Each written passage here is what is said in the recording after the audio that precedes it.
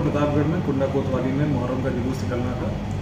जिसके संबंध में वहाँ पर उदय प्रताप सिंह जी की नज़रबंदी की गई थी और धारा एक लागू थी। वहाँ पर कुछ झंडे लगा दिए गए थे जो गैर परम्परागत थे, जिसकी वजह से जातागेदारों में कुछ रोष था। उसके संबंध में सब डिविजनल मजिस्ट्रेट द्वारा एक आदेश जारी किया गया था, जिसमें उदय प्रताप सिंह जी को वो झंडे हटाने के लिए आदेशित किया गया था। परंतु वो झंडे उनके द्वारा नहीं हटाए गए और वहाँ पर एक तनावपूर्ण माहौल में पुलिस द्वारा भारी बल लगाकर वहाँ से उस ट्रैजेडी जुलूस को निकलवाया गया।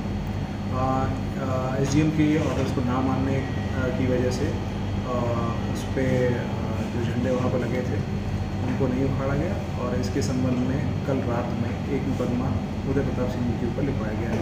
धाराएँ उसमें एक सौ तिरपन है दो सौ पचानवे है और एक सौ अट्ठासी है। किसी सच्चाई वही जो हम बताएँ।